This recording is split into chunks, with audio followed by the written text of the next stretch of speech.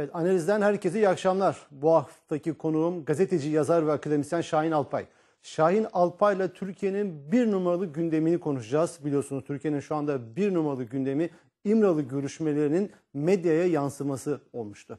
Ve şu anda bütün gündem bunun üzerine dönüyor. Neler konuşuldu, o konuşmalarda satır aralarında neler vardı ve bunu kim sızdırdı? Türkiye'nin şu anda bir numaralı gündemi bu. Evet bugün Şahin Alpay'la bu görüşme notlarını konuşacağız. Satır aralarını anlamaya çalışacağız. Evet analiz başlıyor. Ve Şahin Alpay hoş geldiniz yanımıza. Hoş bulduk Erkan Bey. Türkiye gündemi çok hareketli. Ee, özellikle anonsta da bahsettiğim gibi e, Öcalan'la yapılan İmralı görüşmelerinin basına sızması. Sizi de bir e, şok etkisi meydana getirdi mi? Bekliyor muydunuz böyle bir şey?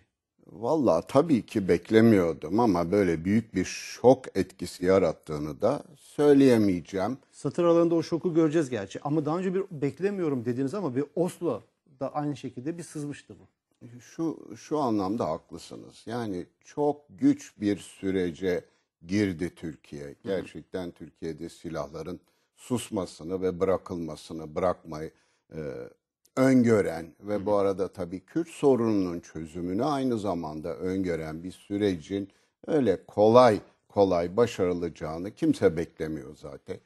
E, daha önce de görüldüğü gibi provokasyonlar oldu. Bu süreç içinde de çeşitli provokasyonlarla karşılaşıyor. Zaten öyle başladı. Herkes aslında Bu, her an her şey olabilir bir beklentisi vardı. Yani bir takım işte e, PKK bir şey yapabilir, şu olabilir, bu olabilir şeklinde. Evet, benim bir gündür gözlemlediğim söylenenler, yazanlardan çıkan yani e, bu biraz e, süreci baltalayacak nitelikte bir provokasyon olarak görülmedi. Herkes tabii Öcalan'ın ne söylediği konusunda da biraz odaklanıyor. Ama vurgu yine barış sürecinin devam etmesinde. Bunun içinde belki herkesin katlanması gereken bazı şeyler olduğuna neler dair. Neler olduğunu, katlanması gerekenlerin neler olduğunu bunları konuşacağız. Ama bu bir operasyon mu sizce? Yani bunun medyaya sızması bir operasyon mu? Valla ben operasyon olarak görmüyorum. Ee, şimdi tabii kim sızdırdı, amacı nedir? Benim bu konularda bir bilgim yok. Tabii ki bazı tahminlerim olabilir ama emin olmadığım şeyler konusunda bir şey, bir şey söylemek zor. Yani iki tane taraf var. Ya MIT sızdırdı bunu ya değil BDP. mi? Yahut da BDP sızdırdı. Hı hı. Amacı neydi? Ee, amacı acaba bazılarının bazı yorumlarda görüyorum bunun amacı işte Öcalan'ın böyle görüşmelerde çıtayı çok alçakta tutmadığı, hı hı. E, çok sert e, konu bazı konularda gayet sert tutumları olduğunu hı hı. kamuoyuna yansıtmak olabilir. Fakat benim dikkatimi çeken bu şeyde hı hı. E, sızdırılan diyelim e, bazılarına göre redaksiyondan da geçmiş. Bilmiyorum ne ölçüde redaksiyondan geçti, geçmedi ama hı hı. bu sızdırılan tutanaklarda diyelim hakikaten kamuoyunun e, bu şeye sürece destek veren yalnız kamuoyunun değil siyasilerin de hı hı. E başta Sayın Başbakan olmak üzere Adalet ve Kalkınma Partisi'nin de kamuoyunda bu sürece destek veren çevrelerinde mesela Fethullah Gülen Hoca Efendi'nin de fevkalade rencide olacağı şeylerin söylenmesini ve bunların hı hı. basına yansıtılması da doğrusu hı. E, hoş şeyler değil. Peki bu eğer provokasyon veya operasyon veya değil bilmiyoruz ama e, biz yayına hazırlanan sayı kadar ki bugün içerisindeki e, haberler şuydu daha çok e, şey yapılmadı, teyit edilmedi. Parti tarafından, BTV tarafından bir milletvekili taraf, ismini vermeyeyim burada. Kendisi şu ana kadar konuşmadı. Ben de çok aradım cebinden ulaşamadım. İsim vermeyeyim. O, o milletvekili tarafından sızdırıldı diye bir iddia var. Ama isim vermiyoruz şu anda bir iddiadır. Biliyorum ben de o ismi biliyorum evet. tabii. Çünkü evet. galiba Milliyet'te okuyabilirsiniz ne konuşuldu Çünkü, şeklinde de bir milli, beyanda bulunmuş. Bulunmuş ve Milliyet'te de zaten bugün e, Derya Sazan köşesinde Fikret bile bana aradı. Biz bunu DDP'den aldık bu bilgiyi. Bilgisi köşesinde yazılı. Bu da ilginç. Ama bakalım önümüzdeki e, günler ne gösterecek, nereden sızdı. Ama peki o sızdırdı veya bu sızdırdı. Neticede hoş olmayan bir takım bilgiler kamuoyuna çıktı. Peki bu sızma sonucunda bunun kaybedeni kim? Kim vallahi, zarar görür bundan? Valla bundan tabii bir miktar bu şeyin e, barış sürecine e, büyük bir destek veren ve bu barış sürecinin bütün hassasiyetlerin dikkate alınarak sürdürülmesini isteyen insanlar biraz tereddütle bakacaktır bu olaya şimdi.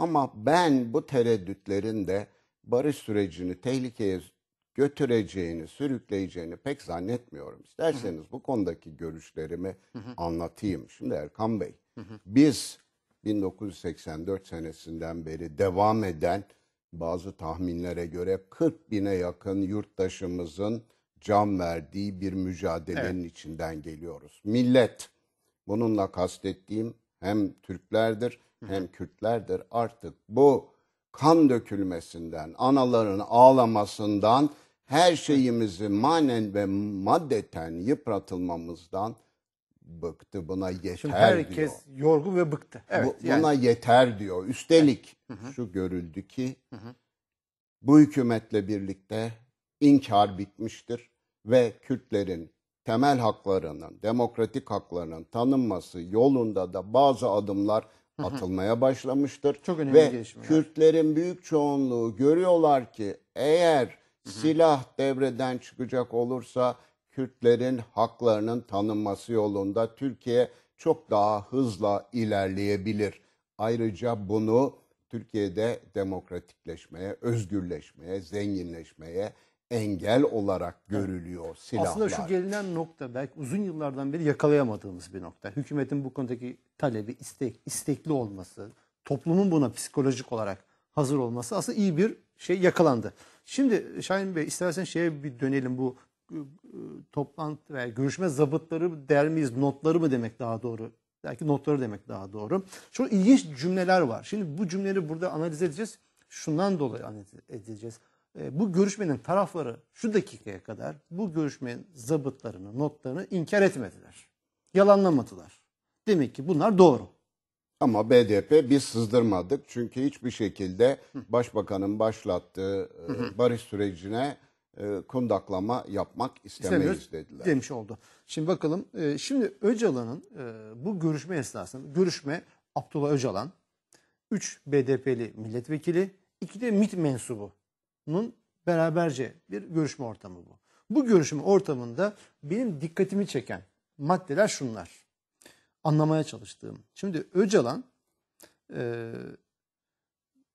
sanki şuradaki ifadesinde okuyacağım ifadede PKK ile BDP ile bir güvensizlik ortamı var gibi geldi bana. Cümle şu. Ben sorumluluk üstlenmem diyor Öcalan. Süreç başarısız olursa APO öldü diyeceksiniz. Kime diyor bunu? BTP'li milletvekillerine. Ben yokum. BDP ve PKK'nın beni kullanmasına izin vermem. Diyor bu bir. Görüşmenin başka bir yerinde de siz bir çıkın mektuba ilave yapacağım diyor çıkarttırıyor 3 milletvekilini. Orada MİT mensuplarını da mı bilmiyorum çıkar. O, o, o bilgi yok orada. Onlardan gizli yazıyor. Bu da ilginç geldi bana. Dolayısıyla bunları bir araya topladığımızda Öcalan'la e, BTP arasında, PKK arasında bir güven problem e, bunalımı mı var? Şimdi ben PKK ile Öcalan arasında bir güven bunalımı olduğunu zannetmiyorum.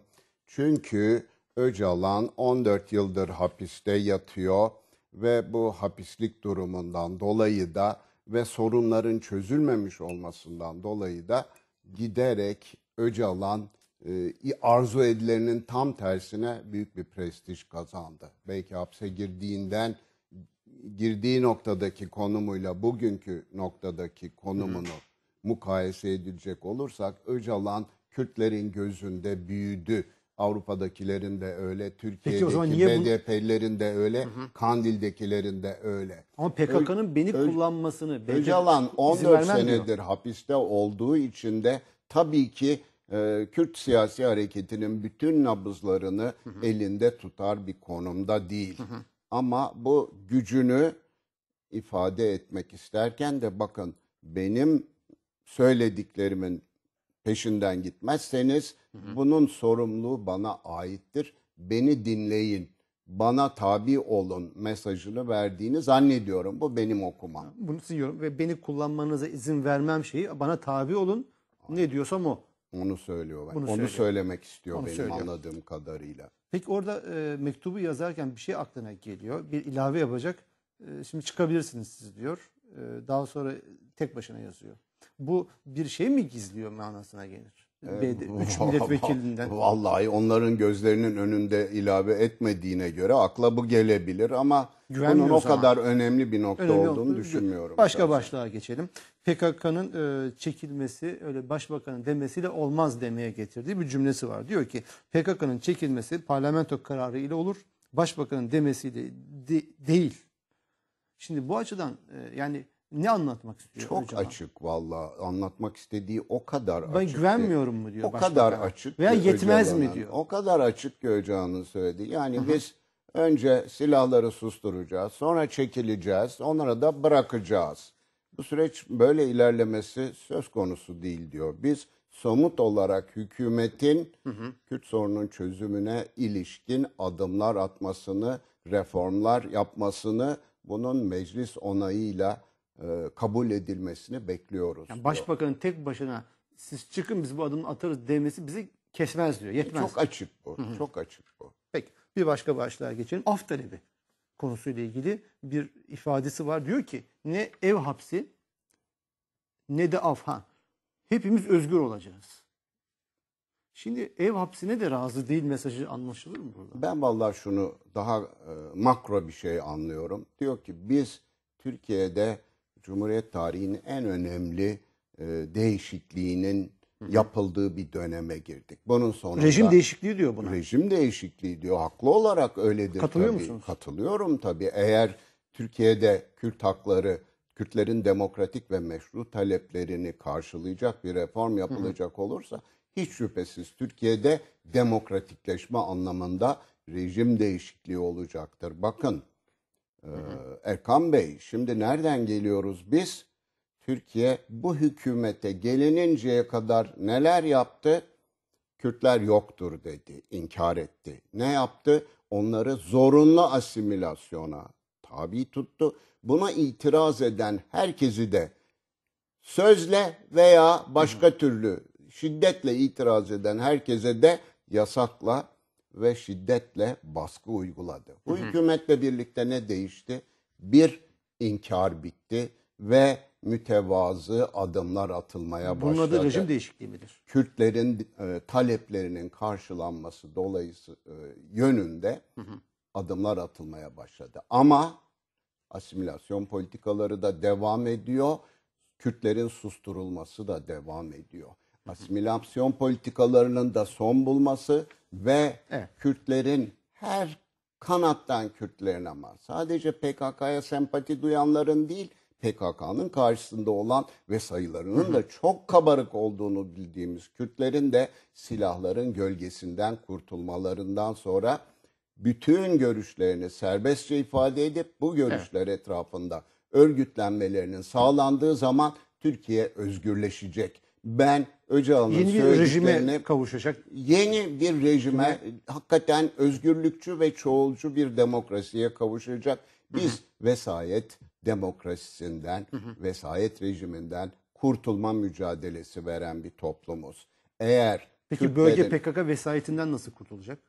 PKK vesayetinden de böyle kurtulacak. Çünkü Türkiye'nin demokratikleş- PKK olduğu sürece Kürtler özgürce kendi fikirlerini ifade Peki edemiyorlar. Türkiye'nin demokratikleşmesi bir ölçüde mümkün. Peki PKK'nın demokratikleşmesi mümkün olabilecek mi? Valla PKK silahların O zihniyetin çözüm olmadığını Marksist gördükçe ve siyasi mücadeleyi kabul ettikçe zorunlu olarak demokrasinin prensiplerine uymak zorunda kalacaktır. Evet, bugüne kadar hakikaten PKK fevkalade totaliter bir mantaliteyle öldüren bir fevkalade totaliter bir mentaliteyle yönetildi. 5000 tane iç infaz olduğu İç infaz. söyleniyor ve Kürtlerin bir kısmı da artık bunun bu konuda seslerini yükseltiyorlar. Ve bu- sadece bu yapının devletin, demokratikleşeceğine sadece inanıyorsunuz siz. devletin değil PKK'nın da e, geçmişte işlenmiş olan suçlarla Peki bu yüzleşmesi. yapı demokratikleşebilecek mi? Tabii demokrasileşebilir. İnanıyorsunuz. Niye Peki. demokratikleşmesin? Eğer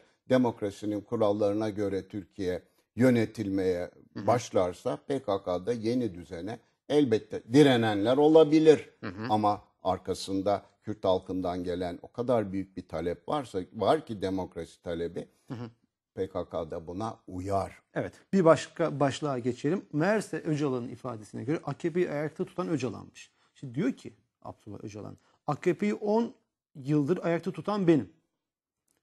Biz AKP'yi çıkartan güçüz. Biz AKP'ye iktidarı altın tepside sunduk. Bir teşekkür bile etmediler. Bir yani nankör dememiş orada. Nasıl, ne diyorsunuz bu ifadeleri? Şimdi aslında bu Öcalan'ın laflarını teker teker alıp bunların incelenmesini de ben biraz kusura bakma çok anlamlı bulmuyorum. Ama, ama önemli bir Çok adam o anlamlı ve bulmuyorum. söylediği Ama bu cümleler sen önemsiz değil. teker teker sorduğuna göre bu konuda ne düşündüğümü tabii ki söyleyeceğim. Bu bir saçmalamaktan ibaret bana soracak olursan. Adalet ve Kalkınma Partisi e, Ayakta hükümetin benim iktidara gelmesini de iktidarda da sağlamış olduğu artan desteği de kendi gayretlerine ve iktidarda uygulamış olduğu halkın tasvibini alan, Türkiye'yi zenginleştiren, Türkiye'de demokrasiyi genişleten ve Türkiye'nin uluslararası itibarını arttıran politikalarına borçludur. Onun kastettiği herhalde 1999'dan 2004'e kadar olan dönemde e, tek taraflı ateşkes ilan etmiş olmasının e, Adalet ve. Kalkınma Partisi hükümetine bir nefes alma imkanı sağladığı Avrupa Birliği e, reformlarını bu e, süreç içinde hayata geçirebildiğine dair e, bir ima olabilir. Ama o kadar gücü vardıysa da BDP iktidar yapsaydı yani AKP iktidar yapacağını kendisine daha yakın hisseder O da, BDP. o da haklı bir yorum tabii. AKP bir başka başlık diyor ki AKP e, e, Öcalan'ın e, AKP ile e, hem bu başkanlık ittifakı yapabiliriz diyor. Başkanlık sistemine Türkiye'ye geçme. AKP'li bunu nasıl yorumluyorsunuz? Buna ne demek istiyor? Ne kastediyor? Bir hesap kitap yani vallahi- bir bir başkanlık e, şeyi üzerinden Şimdi ona e, ilaveten pazarlığa mı girmek istiyor? Ona Öcalan? ilaveten başka şeyler de söylüyor. Tabii o e, Erdoğan'ın öngördüğü gibi olmasın. İşte Amerikan tipi başkanlık olsun, işte e, senato gibi bir şey de olsun, şu da olsun vesaire olsun diyor. Şimdi bakın ben bazıları diyorlar ki Erdoğan kendisinin bütün yetkilerinin kendisinde toplandığı Türk usulü başkanlık istiyor. Onun için Öcalan'la ve Kürt hareketiyle böyle bir müzakere süreci içine girdi. Şimdi Buna katılıyor şunu- musunuz Onu söyleyeceğim. Şimdi bir, ben bir defa bu Erdoğan'ın ve daha doğrusu kurmaylarının ortaya koymuş oldukları Türk tipi başkanlık sisteminin Türkiye için bir felaket olacağını düşünüyorum. Bu tamamen bir kişiye bağlı. e, Erdoğan bütün yetkilerin Erdoğan'da toplandığı, e, iktidarı dengeleme ve denetleme e, unsurlarının tamamen rejimden çıkarıldığı bir e, öneri olduğunu düşünüyorum. Buna kesinlikle karşıyım. Fakat ben şunu demiyorum. Bazıları diyorlar ki Erdoğan bu müzakere sürecine sadece ve sadece kendisini başkan seçtirmek, kişisel ihtiyaçları için e, girişti. Bunu kesinlikle Bu insafsızca kabul, bir- bunu kesinlikle kabul etmiyorum. Şunu bütün performansından görebildiğim evet Erdoğan düşünebilir ki eğer bütün yetkiler bende toplanırsa bu barış sürecini ben selamete ulaştırabilirim. Başka türlü bunu yapamayabilirim diye düşünebilir. Bu yanlıştır. Biz kuralların Bu yönetimini Öcalan biz burada- kuralların yönetimini yerleştirmek zorundayız. Kişilerin yönetimini değil. Fakat ben Erdoğan'ın ben bak başkan olayım, bütün yetkiler bende olsun diye bu süreci başlattığına kesinlikle Öcalan inanmıyorum. Çünkü Erdoğan Türkiye'yi e, güçlü bir Türkiye yapmak ekonomisiyle, refahıyla, saygınlığıyla, demokrasisiyle güçlü bir ülke yapmak Öcalan istiyor. Esas emeli budur. Ö- Öcalan bu, bunu bir fırsat bilip bir pazarlık kozu mu olarak ortaya koymak istiyor sizce? Bu cümleleri sarf etmesinin E sebebi. Şimdi tabii bu böyle bir pazarlık olabileceği düşüncesini İttifaktan bahsediyor. ate- tetikleyen başbakanın kendisi mı? oldu değil mi? Başbakan çeşitli şeylerinde verdiği beyanlarda ne dedi? Efendim biz dedi bütün partilerin katıldığı bir anayasa yapmak isteriz. Olmazsa bir kısmının katıldığı, hiç olmazsa BDP ile anlaşarak yaparız bunu dedi. Öcalan oradan mı e, ümit şey aldı, ışık aldı? Tabii Öcalan'a gelen sinyal e, Erdoğan'ın bizzat Erdoğan'dan geliyor tabii ki. Evet. Evet, bir başka başlığa geçelim Şahin Alpay. Öz savunma güçleriyle alakalı satır arası benim bir şey dikkatimi çekti. Ee, Sırrı Süreyya Önder'e Karadeniz'deki olaylar için bir daha kendini öz savunmanın hazırlamadığı hiçbir yere gitmeyin. Size bir vurduklarında on vuracaksınız. Gitmeyin, devlete güvenmeyin. Şimdi cümle şu. Bir daha kendini öz savunmanın hazırlamadığı hiçbir yere gitme. Öz savunmanın hazırladığı ne demek? Yani öz savunma diye bir güç var, bir birim var. Bu birim, bu BDP'li milletvekiller bir yere gitmeden önce güvenlik önlemleri alıyorlar. Bunu mu anlayacağız? Valla yüzeysel olarak bakacak olursam bundan başka türlü bir anlam çıkarmanın zaten Vah Türkiye'nin İmkanı yok. haline. O zaman yani e, BDP'li milletvekili bir yere gidecek Anadolu'da. Öz savunma güçleri diye bir hayalet bir birim var. Onlar güvenlik önlemi alıyorlar. evet hakikaten biraz şey bir beyan yani. Çok Devletin içinde başka bir devlet olabileceğine ve bunu ima eden bir ifade. ilginç. Çok vahim. Kabul edilir gibi bir ifade değil. Herkesin bu arada Barış ve Demokrasi Partisi milletvekillerinin güvenliğini sağlamak, onları çapulculara karşı Polisin- savunmakta polisin Tabii. güvenlik kuvvetlerinin görevidir. Bu vesileyle altını çizmemiz gereken Tabii. olan gereken husus bu. Neticede milletin vekilidir. Hiç şüphesiz. Fakat bu konuda tabii milletin vekilidir ama buradaki şu cümle de benim dikkatimi çekti. Görüşmeler esnasında Sırrı Süreyya Önder'in özellikle hitap şekli e, Sayın Başkanım diyor. Siz yadırgadınız mı? Allah nasıl yadırgayım? Niçin yadırgayım? Nasıl- nereden- Bütün Kürt hareketi, Nereden başkanı oluyor? bütün e, Kürt hareketi? Öcalan'ı Öcalan? Kürt hareketinin, Kürt taleplerinin bir e, lideri, bütün Kürtlerin önderi olarak kabul Bütün eden Kürtlerin- bir psikoloji içerisinde. Ben Siz de öyle mi o görüyorsunuz? sayın Bütün Kürtlerin- milletvekiline Olamaz ben herhalde. öyle görmüyorum zaten. Tabii, onlar öyle Kürtlerin zannediyor. kendileri de öyle görmüyorlar. Bakın Tabii. Türkiye'deki Kürtlerin yarısından fazlası bir defa Adalet ve Kalkınma Partisi'ne oy veriyorlar. Tabii. İki tane başka Kürt partisi var. Tabii. KADEP ve Hakpar var ve onlar tabii ki ta Kürtleri- işin başından itibaren PKK'nın e, Türkiye'de demokratik hakların kazanılmasına bir destek değil, köstek olduğunu başından itibaren savundular. Yani o konuda siz şaşırmadınız Sayın Başkanım demesini. E, bir milletvekilinin kesim Kürtler arasında bir kesim tabii ki Öcalan'a belki sahip olduğundan da daha büyük güçler, daha büyük bir siyasi Peki bir e, kabiliyet milletvekilinin atfediyorlar. bir milletvekilinin e, Öcalan'a ki Öcalan'ın kim olduğu malum. e, Sayın Başkanım diye ifade etmesi sizce normal mi?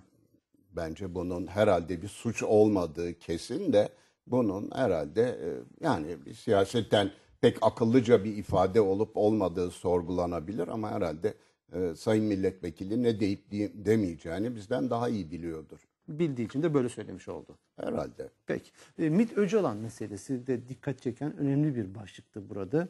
E, şimdi diyor ki Öcalan, Sayın Başbakanı buna inandıran ekip 2011'de PKK'yı bitireceğiz dedi. 10 bin kişiyi içeriye aldılar. Bu güç MİT'e darbe planladı. Ben hemen devreye girdim. Altını çiziyorum. Ben hemen devreye girdim. Darbeyi önledim.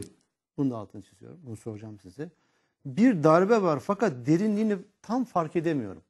MIT'i düşürseler, düşürseydiler Türkiye'de tüm kaleler düşmüş olacaktı. Bunu da altını çiziyorum. Bunu da soracağım. Hakan Fidan tutuklansa sonra sıra başbakana gelecekti. Benim süreci canlandırma, darbeyi engelleme sorumluluğu. Darbeyi önleyebileceğimi fark ettim, süreci başlattım. Evet. Hemen devreye girdim ve darbeyi önledim diyor. Ne anlıyorsunuz burada? Valla ben bunlardan hiçbir şey anlamıyorum. Ee, Nasıl devreye girmiş olabilir? MİT müsteşarı hakkında İmralı'daki savcıların e, tahkikat açma e, girişimi karşısında e, o zaman hakikaten bunun nasıl oluyor da hükümetin arkasında olduğu bir müzakere girişimi bu şekilde savcılar aracılığıyla kundaklanıyor, kundaklanabiliyor diye ben de sordum kendi kendime. Ama o e, barış sürecini, müzakere sürecini baltalamaya yönelik o girişimi hükümet kendisi aldığı önlemlerle engelledi ve çok da iyi etti bana soracak olursanız ama burada e, Öcalan'ın herhangi bir dahli olduğunu ben şahsen e, göremiyorum. Kendisi herhalde e, bir aşırı güç vehmediyor kendisine. Ee, Ve bir başka cümle MIT'i düşürselerdi o altını çizdiğimiz cümle düşürselerdi Türkiye'de tüm kaleler düşmüş diyor. Ben Bu laf- ne kalesi, kimin kalesi? bu lafların bu lafların hiçbir şekilde Türkiye'nin realitelerine tekabül ettiğini Çünkü başka- düşünmüyorum. Bir konuşmasında yani aynı metin içerisinde başka bir yerde Ermeni, Rum ve Yahudi lobileri sadece MIT'e sızamadı diyor. Bağlantılı olarak. Siz katılıyor musunuz? Böyle şey. Efendim biliyorsunuz bizim Türkiye'mizde çok yaygın komplo teorileri vardır. Her şeyi bir takım güçlü, fevkalade kuvvetli ellerin yönettiğini düşünürler. Bu komplo teorisi de çeşitli şekillerde kendisini e, ortaya koyar. E, burada da e, Türkiye'de olan bitenleri Ermeni, Yahudi, e, Rum lobileriyle izah etme gayretinin de bu çok kaba komplo teorisinin başka bir tezahürü olduğunu söyleyebiliriz. Ciddi alınacak hiçbir şey Peki görmüyorum. bir terör örgütünün lideri e, MIT'e karşı bu kadar kendini e, savunmacı olarak görmesi nasıl izah ediyorsunuz? Şimdi bakın bir defa siz terör örgütü, terör örgütü diye altını çiziyorsunuz. Bu konuda da aydınlık olmamız, bu konuyu da aydınlatmamız lazım. Evet, PKK zaman zaman teröre başvurmuştur. Zaman zaman. Yani sivilleri hedef almıştır. Ama esas mücadelesi gerilla yöntemleriyle güvenlik kuvvetlerine karşı yapılan bir mücadeledir. Bu ayrımı yapalım. Şimdi eğer biz bir barış sürecine girmişsek, bu barış sürecine yakışan bir dil kullanmak zorundayız. Dolayısıyla artık Öcalan'dan niçin yeni Öcalan barış sürecine öncülük yapmak Öcalan'ı bu istiyor? süreçte Öcalan'dan bebek katili, Öcalan'dan bölücü başı, Öcalan'dan şu veya bu, Siz bu diye bahsetmekten nasıl vazgeçmemiz nasıl gerekiyor. Ve bu nedir? vazgeçmemiz çok önemlidir. Aynı şekilde de PKK'nın sürekli olarak bölücü terör örgütü olarak nitelenmesinin de artık geride bırakılması gereken barış süreciyle bağdaşmayan bir dil olduğunu düşünüyorum. Onun için bu Sizin ayrımları şeyiniz yapalım. nedir bu konuda? Yani siz bu süreçte Abdullah Öcalan'ı nasıl tanımlıyorsunuz? PKK Kimdir? lideri, PKK lideri olarak tanımlıyorum. PKK'nın 14 yıldır İmralı'da hapsedilmiş olan lideri olarak. Bakın Öcalan hakkında idam kararı verildi ve daha sonra bu karar ömür boyu e, hapis cezasına çevrildi. Öcalan hakikaten o zaman bizim idam cezasını kaldırmamış olsaydık zaman içinde ve Öcalan idam edilseydi daha mı iyi olurdu Türkiye için yoksa Öcalan'ın hayatta kalması Türkiye'ye bu e, çatışmalı süreci, bu iç mücadeleyi aşmak için önümüze bir fırsat mı doğurdu? Ben tamamen ikinci fikirdeyim. Öcalan gerek kendi içinde bulunduğu durum dolayısıyla gerekse ta 90'ların başından itibaren eğer iyi takip edecek olursanız söylediklerini bir uzlaşma arayışı içinde olmuştur. Bu uzlaşmayı Öz, Öcal, Özal döneminde başlamış. Erbakan'la bir ara devam etmiş ve esas olarak da şimdi Adalet ve Kalkınma Partisi hükümetiyle sürdürmektedir. Bunların da bütün bu şeyin e, sürecin değerlendirilmesinde hesaba Peki o zaman e, gerekir. ben şöyle diyeyim. E, PKK lideri Abdullah Öcalan Evet. e, MIT'i son kale olarak görüyor. Bu bir saçmalama ifadesi. Ben bunu gerçeklerle bağdaş ben şimdi saçmalamak Neticede şu yani var. Yani bir- şunu söylemek istiyorum. Ben bu barış sürecine zarar verecek herhangi bir ifadenin kullanılmasına kamuoyu önündeki tartışmalarda Peki bu ne anlama gelir? Normalde bu örgütün bunlar bunlar hiç şüphesiz kabul edilebilecek şeyler değildir. Eğer bu beyanlar e, şeffaflaşma adı altında kamuoyu önüne konmuşsa biz tabii neyin kabul edilebilir, neyin kabul edilemez olduğunu ifade etmek durumundayız. MIT son kale ben bunun bir gerçeklikte bir karşılığı olduğunu kabul edilemez bir iddia düşünmüyorum. olarak. Düşünmüyorum. Tabii. Bir başka şeye geçelim Şahin Alpay. Şimdi diyor ki MIT e, görünü savcıya gitmedi, asker gitti yaslaması yapıyor. O da şöyle bir cümlesi var. E, MIT askerden güçlü çıktı. Savcılığa çağrıldılar, gitmediler. Bana göre bu e, bir direniştir. Erdoğan bunların burnundan fitil fitil çıkarır. Şimdi asker gitmekle savcıya hata etti. MIT gitmemekle doğru yaptı. Siz ne diyorsunuz bu analizine? Valla bu Öcalan'ın e, kendine göre değerlendirmeleri, e, Ya askerler de gitmemeliymiş ifade vermeye savcıya. onu mu kastediyor? Şimdi askerler gitti, MIT gitmedi, MIT direndi. Bu bir Efendim direniştir şunu, diyor. Şunu demek istiyor. MIT yani kendisini korumak için böyle bir e, ifadeye gitmeme yolunu seçti. Ama bunun sebebini hepimiz biliyoruz. Hükümet böyle bir MIT e, başbakanlığa bağlıdır ve başbakanlığın bu konuda izni olmadığı sürece Hatta MIT'in bu başbuğun İlker Başbuğ'un adını zikrederek de yani metinde geçiyor. Yani gitti neticede içeri aldılar. Yani burada MIT gitmedi, içeri alınmadı ve bir direniş gösterdi. Dolayısıyla askerin de e, savcılığın talebine evet dememesi, gitmemesi ve direnmesi gerekiyordu diyor. E, bu e, analizine siz katılıyor musunuz?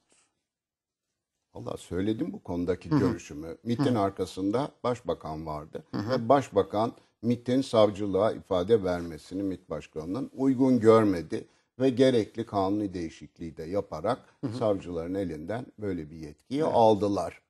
Bu iyi mi oldu, kötü mü oldu? Hukuki açıdan şöyle denebilir, böyle denebilir ama siyasi açıdan fevkalade yerinde olmuş. Asker Ben açısından baktığımızda, asker açısından Asker bak- açısından niçin bakayım ben buna? Çünkü Asker kıyas açısı- yapıyor Peki Öcalan. asker açısından bakalım isterseniz. Yok Öcal'ın sözü üzerinden gidiyoruz. Yani askerle MIT'i karşı karşıya getirmiş, yan yana getirmiş iki şeyi. Diyor MIT gitmedi doğru yaptı, asker gitti yanlış yaptıya getiriyor.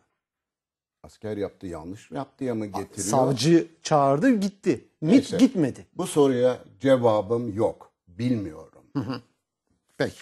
Bir başka şeye geçmiş olalım bunu es geçelim.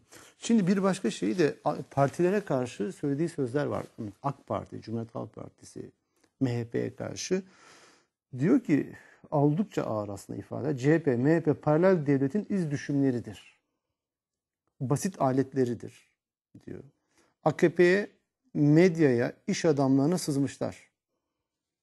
Sadece MIT kalmış. İşte bu yine burada Ermeni, Yahudi, Rum lobilerini bahsediyor. Vallahi Erkan Bey Yani- niçin bu Öcalan'ın bu şeyini karma karışık kafasındaki e, ipuçlarını çözmeye çalışıyoruz da niçin barış sürecinden söz etmiyoruz? Elimizde Niçin? o mektuplar olsa konuşacağız ama yok. Ne konuştuğunu bilmiyoruz ki şu anda. E buna niçin o kadar çok değer veriyorsunuz? Bakın kamuoyunda hiç kimse bu e, şeye e, açıklanan sözde tutanaklara çok büyük bir önem atfetmiyor. Öyle mi diyorsun? Hiç bugün gazetelere bakmadınız mı? Bütün Ben bütün gazeteler, gazete- ben bütün, bütün gazeteler ve televizyonlar edindiğim satır izlenim, satır bunlar benim üzerine. edindiğim izlenim bu metinden kalkarak barış süreci hakkında bir değerlendirilme yapılamayacağı, esas olarak barış sürecinin devam edeceği ve bu her ne kadar bir provokasyon gibi görülebilse de bu provokasyonu kamuoyunun kabul etmediği yönünde. Ben öyle algılıyorum. Peki bütün bunlar bizim için bir değer ifade etmez mi? Yani şu anda e, bu barış sürecindeki kritik adam Abdullah Öcalan. Dolayısıyla onun zihin yapısı ve olaylara bakışı kamuoyu açısından e, e, değerli değil midir? Ne düşündüğü? hiç şüphesiz hiç şüphesiz değerlidir ama buna sahip olduğu değerden ve önemden daha fazla bir değer ve önem atfedilmemesi gerektiğini söylemek ihtiyacını duyuyorum. Çünkü siz artık bana neredeyse Öcalan'ın her cümlesini Sahip olduğu değer nedir? Yorumlatmak gibi bir e, şey içindesiniz. Peki gayret e, içindesiniz. sahip olduğu değer nedir o zaman? Bunun Onun sahip- ötesinde dediniz yani norm şey nedir? Yani sahip olduğu değer nedir Öcalan'ın? Şimdi bakın bu barış süreci hiç şüphesiz ki bir müzakere süreciyle birlikte devam edecek. Dolayısıyla Öcalan'ın burada söylediği şeylerin kıymeti sadece bugün için geçerli olabilir. Bu müzakere süreci devam ettiği zaman bunun değeri gerçek yerine oturacaktır. Kaldı ki başka bazı noktalar var değil mi? Bu e, tutanaklarda yansıyan mesela artık e, demokratik özerklik özerklik şeyinden e, tasavvurundan Vazgeç. vazgeçtiğine bunun şeyi süreci akamete uğratabileceğine dair bazı sözler var. Ben yanıma almadım bunu. Bunun yanında biliyorsunuz Çok başka bir- şekillerde bu tutanaklarla değil ama başka şekillerde kamuoyuna yansıyan şeyler oldu. Onlar ne mesela? Bu ana dil konusunda fazla ısrarlı olmayınız. Bunlar daha sonra yasalarla çözülebilecek nitelikte taleplerdir Bu dedi. bilgi- Bunun yanında Bu bilgi bu nereden? tutanaklarda da yansıyan başka bir şey var değil mi? Diyor ki biz diyor ille de anayasada Kürt kimliğinin geçmesi talebinin arkasında değiliz diyor. Türkiye Cumhuriyeti vatandaşlığını gönüllü olarak benimseyen herkesin e, bu Bunları nerede diyor? anayasal yurttaşlık e, kavramının arkasında olmayız Bunları diyor. nerede Hatta- diyor? Nerede mi Bunları diyor? nerede diyor? Tutanakta diyor. Yani milletin bastığı tutanağı mı kastediyorsunuz? Evet onu kastediyorum. Yani ana dilde eğitim konusunda. Hayır onu başka yerde. Onu Şimdi nerede- hat- hatırlamıyorum. Çünkü bu yer yer bu da medyada ben de gördüm bunu. E, bu açıdan yani çok olumlu bir nokta. Yani bunları çok direnmeyin. Ana dilde eğitim bile. Halbuki biz e, VTP'nin e, VTP'nin dilinden hep biz bu ana dilde eğitim konusunu birinci madde olarak duyduk. Şimdi Öcalan'ın bunu hakikaten dediydi demediğim için kaynak bulamıyorum. Ben de haberlere baktım kaynak yok. E, bir taraftan deniyor ki bu zabıtlarda bir kısmında vardı bu. Diyen var, demeyen var. Burada da bir karışıklık var. Yani Öcalan gerçekten bunu diyor mu demiyor mu meselesi? Bilmiyorum. İnşallah diyordur bu iyi bir şey. Yani biraz daha pozitif, olayı çözmeye yönelik. Vallahi bakın bu konuda da ben görüşümü söyleyeyim size. Türkiye Kürtlerin kimliklerini serbestçe ifade etmeleri üzerindeki bütün engelleri kaldırmadıkça, Kürtlerin dillerini ve kültürlerini serbestçe yaşamalarını imkan dahiline sokmadığı sürece ki bu ana dilde eğitimi de içermektedir. Temel insan hakkı. Türkiye Değil mi? e, huzura kavuşamaz, bir demokrasi olamaz. Bu sorunla mutlaka ve mutlaka e, hesaplaşmak ve bunu halletmek mecburiyetindedir. Ama bu sabahtan akşama, yarın başarılacak bir reform olmayabilir. Çünkü bugün Türkiye buna hazır dahi olmayabilir. Ama önümüzdeki dönemde bence kamuoyunun, akademisyenlerin, e, kanaat önderlerinin herkesin üzerinde durması gereken özellikle önemli iki konu var. Birincisi biz ana dilde eğitim hakkını Kürtlerin nasıl teyit edeceğiz? Hangi şekilde hayata geçireceğiz? Bir. ikincisi Öcalan'ın öngördüğü şekilde bir zamanlar yahut şimdi terk etmiş gerekiyor, gö- gözüküyor. Demokratik özerklik değilse de yerinden yönetim talebinin ki bu sadece Siz bir PKK'lı ara demokratik özelliği de savunuyordunuz değil mi? olmasa bile Savunuyor Türkiye yerinden yönetimi sağlayacak reformları sadece Kürt çoğunluklu bölge için değil bütün Türkiye için zaten yapmak zorundadır. özellik Bunlar üzerine? Türkiye'nin düşünmesi ve yaratıcı herkesin kabul edebileceği çözümler üretmesi artık çok hayati bir noktaya gelmiştir. bir ara yani benim söylemek istediğim şu. Şimdi kalkıp eğer siz e, ana muhalefet partisi lideri, yavru muhalefet partisi lideri gibi ana dilde eğitim Türkiye'yi böler diye bir olmayacak. Türkiye'de hiçbir şekilde Türkiye'yi huzura kavuşturamayacak bir düşüncenin peşinden giderseniz bu olmaz. Bunu kimse kabul etmez. Türk'ün olduğu kadar Kürt'ün de Dolayısıyla hakkıdır. Evet. Türkiye'nin bu ana dilde eğitim meselesini nasıl çözeceği, hangi kademelerle çözeceğini düşünmesi lazım. İkincisi Türkiye bu denli hantal, bu deli, denli merkeziyetçi bir idare sisteminden mutlaka kurtulmak zorundadır. Bunun için de biz idareyi nasıl ademi merkeziyetçi, nasıl yerinden yönetilir bir hale getireceğiz Türkiye'yi? Bunların sorularının cevaplarını bulmak zorundayız. Öcalan'ın burada ne dediği, şurada ne dediği bence hiç önemli değil. Önemli olan bunlar. Temel, temel problemleri o şey. Demokratik standartlar açısından bakacağız. Tabii ki o Tabii. açıdan bakıyorum. Ben Öcalan'ın fakat demokratik özellik meselesinde üçüncü, dördüncü kez soracağım. Siz bu konuda taraftar mısınız? Ben Savunuyor musunuz? Ben? Türkiye'nin yerinden yönetim reformuna ihtiyacı olduğunu düşünüyorum. Ben Türkiye'nin Kürt çoğunluklu bölgesinin özel olarak e, özelliğe sahip bir bölge olarak tasavvur edilebileceğini, bu bölgede Kürtçenin de Türkçe yanında ikinci resmi dil olabileceğini düşünüyorum. Buna akşamdan sabaha varabilir miyiz? Bu konuda emin Fakat değilim. Öcalan ama demokratik ama özellik- ben bakıyorum bu gibi problemleri olan yani birden fazla kimliği bar- barındıran ülkelerde kimlik haklarının bastırılmasından dolayı ortaya çıkan çatışmaların eninde sonunda hem ana dil ve kültürün tam saygı göreceği hem de eğer bir belirli bir kimliğin çoğunlukla bulunduğu bir bölge varsa Evet. o bölgeye özel idare haklarının tanındığı çözümlere gittiğini görüyorum. Britanya Böyle. buna gitti. İspanya buna gitti. Belçika buna gitti. Eninde sonunda Bush buraya gider Eninde sonunda diyorsunuz. bu Peki. reformların Şimdi yapılması ben e, lazım. son 5-6 dakikaya girdik Şahin Alpay. E, ben metinlerin dışına çıkayım. Metinleri çok fazla kurcalamayalım, fazla da gündeme getirmeyelim dediniz ama getirmiş olduk bir miktar ama daha bununla ilgili soracaklarım vardı onları sormayacağım. Biraz fazla didiklemeyelim metni. Olur. Şimdi başka başlıklarım da var. Şimdi e, önümüzde 3 tane seçim var yakın zamanda. Bu seçimlerde şu da tartışılıyor. Yani PKK silahsız bir şekilde bu seçimlere gitmek ister mi? İstemez diyorlar bir kesim insan. Siz katılıyor musunuz?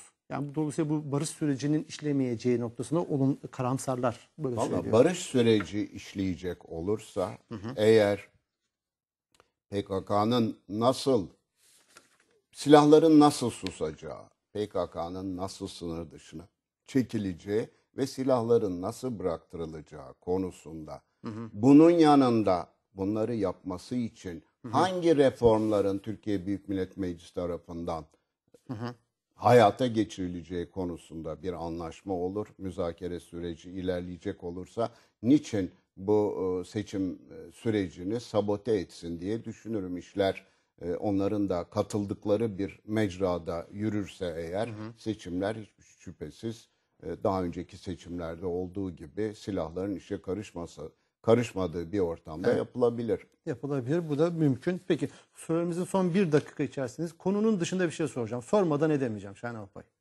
Aramızdaki e, samimiyete binaen soracağım. Bu Buyur, Biraz da buyur. kızdırır mıyım sizi bilmiyorum. Rica ederim. Şimdi konuyla hiç ilgisi yok. Hiç ilgisi yok ama sormadan da edemem. Okey. Şey şu. Şimdi iki gün önce e, Hocalı katliamının yıl dönümüydü. Orada e, yüzlerce insan katledildi ve sıcak da bir olay. Yani 1915'te olmadı bu. Daha yakın bir tarihte oldu. Olayın yaşayanlar hayatta. Bir kısmı hayatta değildi zaten. Bilmem kadar ne kadar insan da e, şey yapıldı. E, bu Hocalı katliamında kaçırıldı. E, ben de işte 106 kadın, 83 çocuk, 70 yaşlı, 100, 613 kişi öldürüldü gözüküyor. 1275'te esirden haber yok. Şimdi böyle bir seneyi devriye yaşandı. Şimdi ben bakıyorum profillere, liberal ve demokrat kimlikli yazarlara ki bunun en önde gelenlerden birisi sizsiniz. 1915 konusunda haklı duyarlılığınız var. Haklı duyarlılığı altını çizdim. Ama hocalık katliamı meselesi olduğu zaman liberal demokrat kalemlerden tık çıkmıyor. Ben mi görmüyorum? Şimdi bakın. Niye öyle? Eğer Türkiye'de siz 1915-16'da 1 milyona yakın Osmanlı Ermenisinin başına gelenler konusunda tarihi gerçeklerle uzlaşan bir tavır takınmazsanız ve Ermenilerin uğradığı katliamları, kendi hükümetlerinin aldıkları kararla uğradıkları haksızlıkları üstünü örtmeye çalışırsanız ve bunları inkar ederseniz siz hiç şüphesiz toplumun bütün katliamlarla, bütün haksızlıklarla yüzleşmesinin önüne çıkmış olursunuz. Ben, Ben tabii alamadım. ki Hocalı katliamının ben sizin liberal dediğiniz kimseler kimdir bilmiyorum. Kendi adıma bu sıfatı kabul ettiğim için söylüyorum. Ben Hocalı katliamını da takbih ediyorum. Buna hiç şüphe yoktur. Ben şu anda Suriye'de ya- işlenmekte olan katliamı da takbih Ben- ediyorum. Dünyanın herhangi bir yerinde işlenen katliamları da takbih ediyorum. Alpay. Ama sizin sorunuza cevabım çok net ve açık. Siz Osmanlı Ermenilerinin başına gelen katliamları şey yapmazsanız, e, inkar yolundan vazgeçmezseniz Ben de Hocalı'yı görmem. şüphesiz Hocalı'yı da görmeyenler olabilir. Bu adalet mi? Demokratlık mı? Ben de çocukça bir davranış değil mi bu? Ben, madem sen 15'i görmüyorsun ben de hocalığı görmüyorum. Bu mu o Ben, demokratik ben onu davranış? söylemiyorum. Ben hocalı katliamının da takbih edilmesi gerektiğini düşünüyorum. Ama hiç şüphesiz eğer siz çok daha büyük bir katliamın, Türkiye'yi fevkalade yakından ilgilendiren bir katliamın hala inkarı olmamışmış gibi davranma Niye bunu yolunda biz köşelerde giderseniz görmüyor Alpay? Onu bana değil başkalarına sor. Bilmiyorum ben bunun Ben- siz cevabını. yazdınız mı? Ben size cevabını veriyorum bunun. Ben size bunun cevabını veriyorum. Evet ben de yazmadım çünkü Neden? bana bu büyük resmin bir parçası olarak gelmedi. Ama bunu bir Neticede- uya, ya bunu bir u- bu, ya bu vesileyle de Heh. Hocalı da Ermenilerin Azerilere yaptığının da bir katliam olduğunu ve takviye edilmesi Ama gerektiğini ben düşünüyorum. 26 Niye Şubat- yazmadınız? Türkiye'nin önünde il- olağanüstü bir gündem var. Ben haftada üç gün yazı yazıyorum ve bu üç gün yazıyı yazarken de Türkiye'nin ve dünyanın en önemli konularını ele alıyorum. Sebebi, cevabı budur. Evet. Peki keşke ben aradım 92 e, yılında gerçekleşmiş olan 26 Şubat'ta Şahin Alpay yazar bunu dedim ama yazmadı. Aradım, baktım en az içimde kalmasını söyledim. Ama siz de ekranlardan bunu kınadınız. Daha o mesele bitti. E, tabii. Şahin Alpay kızmadınız. Biraz kızdırayım dedim Yok ama. canım. Rica ederim. Rica ederim. Peki Şahin Alpay çok teşekkür ediyorum yanımıza katıldığınız için. Ben de teşekkür ederim. Bu haftaki konuğum gazeteci yazar Şahin Alpay'dı. Şahin Alpay'la Türkiye'nin bir numaralı gündemini konuştuk. Yani İmralı'daki konuşulan zabıtları, notları konuştuk. Satır alanı anlamaya çalıştık. Bu hafta da burada programımız sona erdi. Haftaya tekrar buluşmak üzere.